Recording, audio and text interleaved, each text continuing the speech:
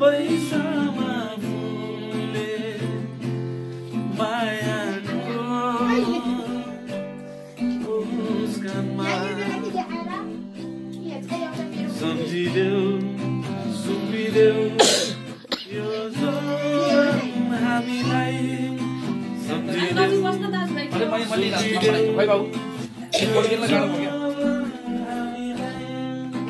मेरा ही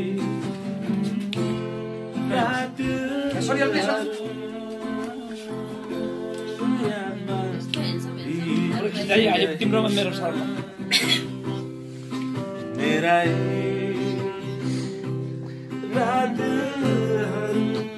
गाड्दैन समाधान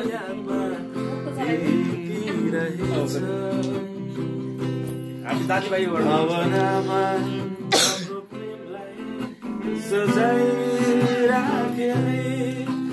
New Zealand, New even, my old life, my darling.